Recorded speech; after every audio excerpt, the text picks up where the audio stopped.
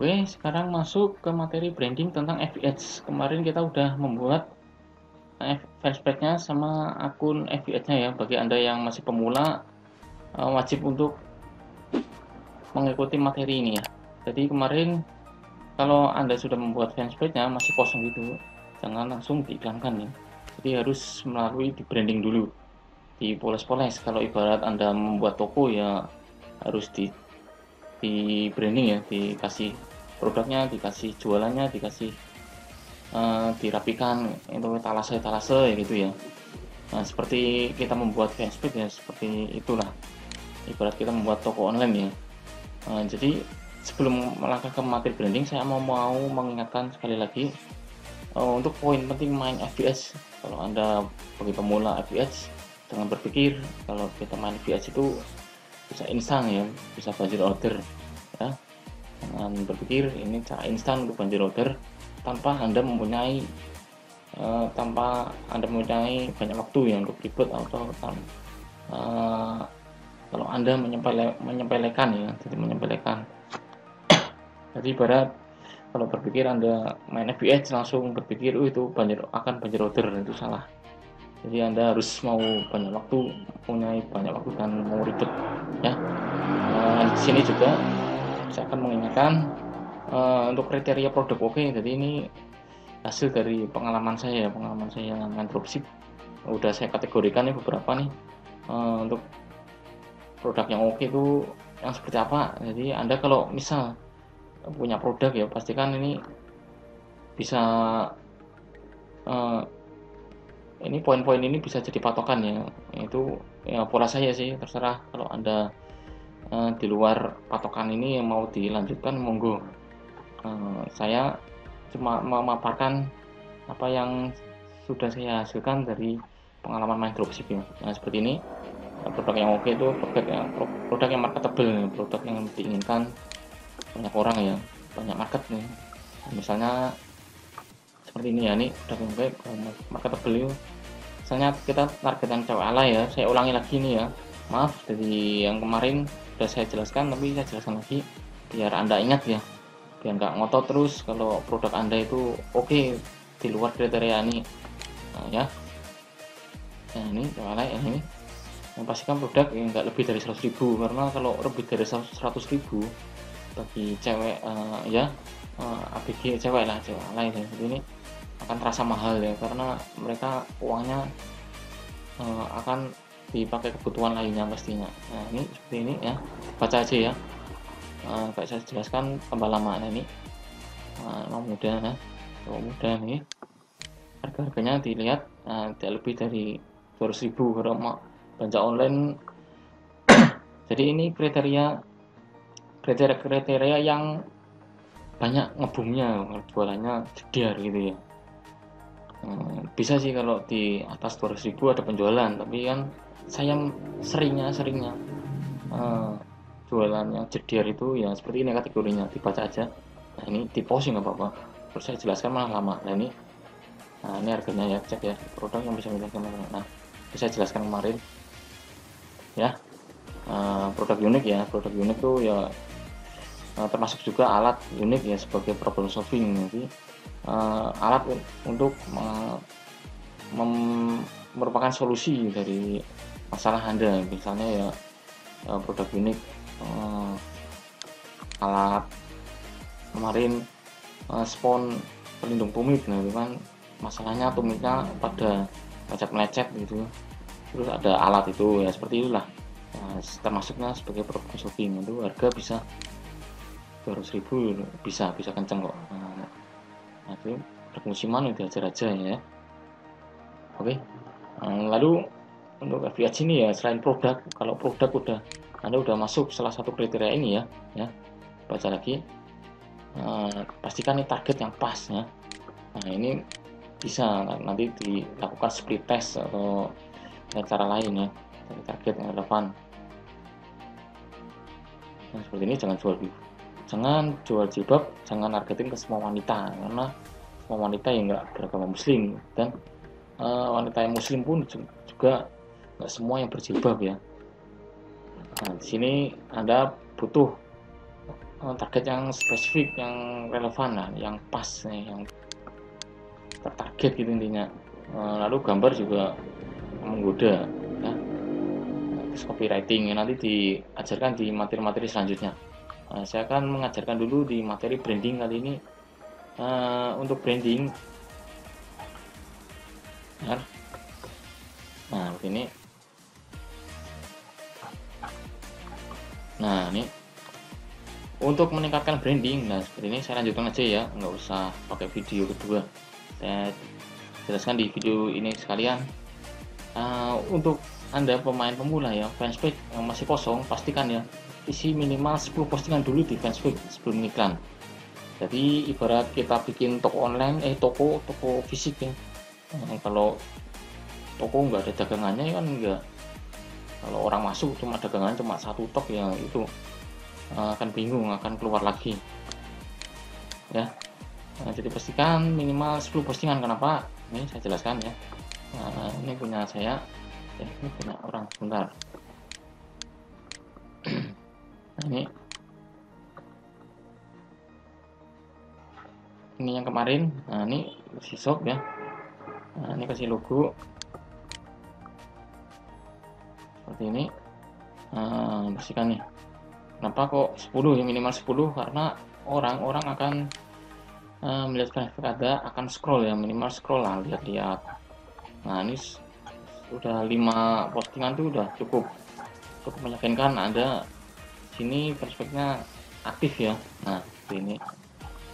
Walaupun ini postingan belum diiklankan ya. Terlihat masih aktif ya. Nah ya minimal 10 di posting lah gitu ya. Uh, lalu nah di sini uh, saya jelaskan untuk meningkatkan brand awareness jualan anda. Nah, itu artinya uh, meningkatkan itu meningkatkan orang untuk mengenal brand anda ya meningkatkan agar orang bisa mengenal brand anda. Itu bagaimana? Ya itu. Tadi selain bikin fanspage uh, yang diisi ya diisi dengan itu ya minimal inilah. Kalau anda ngiklan nanti ya minimal udah ada 10 postingan. Uh, lalu minimal anda udah mempunyai toko online-nya ya. Nah, ini biar terlihat jualan anda serius gitu. Uh, jadi selain membuat toko online untuk uh, biar jualan terlihat elegan ya elegan ya nanti ada fungsinya juga. Kita untuk menampung pixel ya dijelaskan nanti di materi selanjutnya. Uh, pastikan juga produk yang jual oke okay ya seperti tadi saya jelaskan. Nah ini pencerahan ya pencerahan buat anda pemain FBH atau pemula atau uh, yang udah jalan FBH tapi masih bingung kenapa kok jualannya enggak target-target nggak jediar gitu ya. Jadi saya kasih pencerahan aja.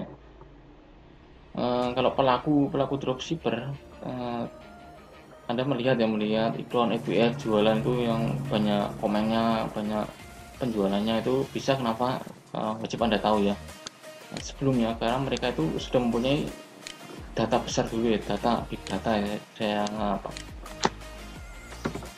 bikin istilah big data ya jadi dia mempunyai sebelumnya sudah mempunyai data dulu ya data dulu sebelum dia mendapatkan penjualan yang jediar gitu ya Nah, big data itu seperti apa? Ya data pixel. Nah, nanti saya jelaskan di materi selanjutnya uh, data winning campaign, campaign, campaign, ya, campaign. Nah, seperti ini saya jelaskan ya.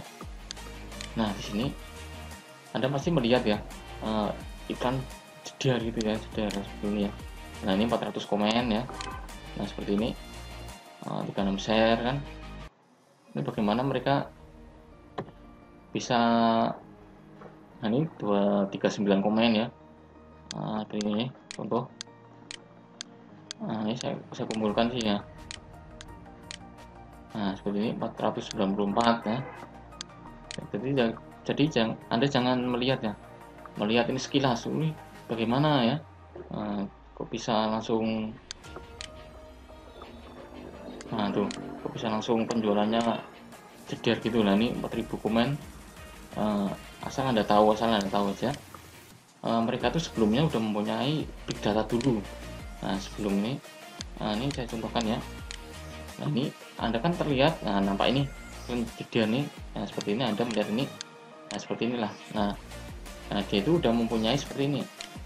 Ini saya kasih pencerahan ya. Sebelum mereka membuat iklan dari ini mereka sudah mempunyai sebuah big data dulu ya nah ini. Nah, data pixel seperti ini ya saya warna merah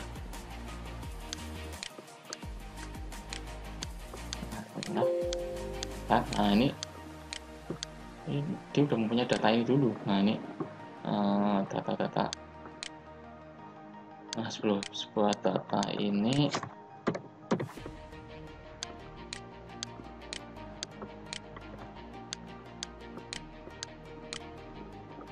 nah jadi sebelum dia membuat iklan ini ini data ini dia udah mempunyai dulu. Nah ini inilah kenapa saya menganjurkan anda men menyarankan Anda untuk bermain FBH itu butuh ribetnya dulu ya. Nah ini untuk membentuk data ini dulu. Jadi sebelum Anda mengiklankan, wajib Anda mempunyai sebuah data dulu. Jadi jangan langsung iklan jeder itu langsung banyak penjualan, bukan.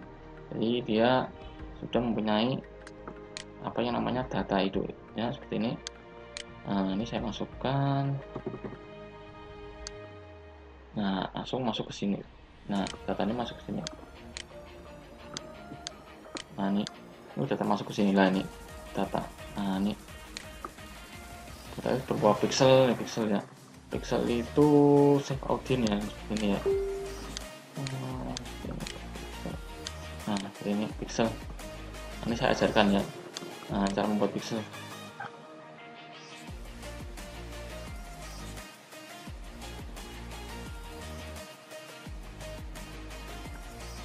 oke uh, pixel. Nanti saya ajarkan di materi selanjutnya. Ya yang penting saya kasih pencerahan dulu. Jadi anda kalau melihat iklan-iklan seperti ini sukses ini dia itu sebelumnya udah mempunyai sebuah yang namanya data ya big data lah seperti ini.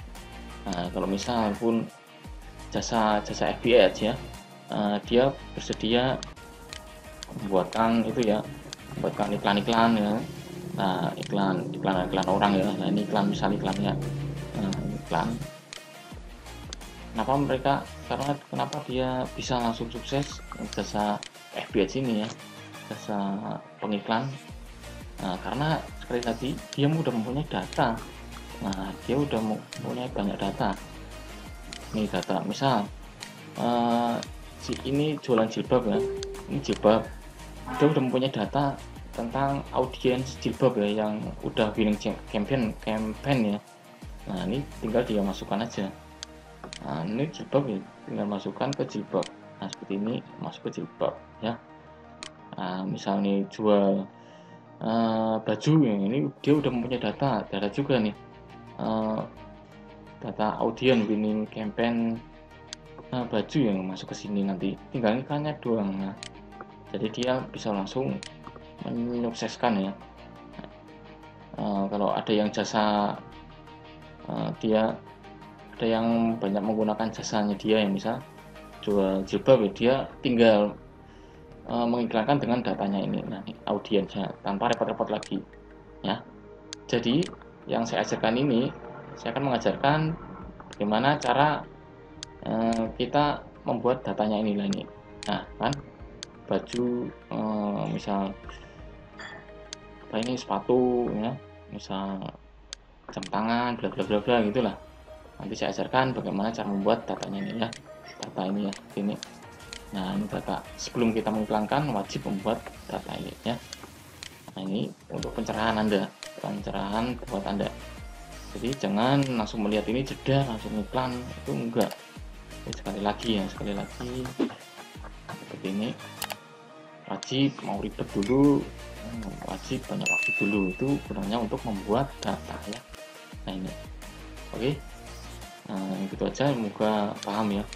Bagaimana cara beriklan yang benar itu. Jadi enggak instan ya. Branding dulu produk yang oke ya. Lalu kita eh, main data dulu. Oke itu pola saya membuat data dulu. Eh, sampai jumpa di video selanjutnya Assalamualaikum warahmatullahi wabarakatuh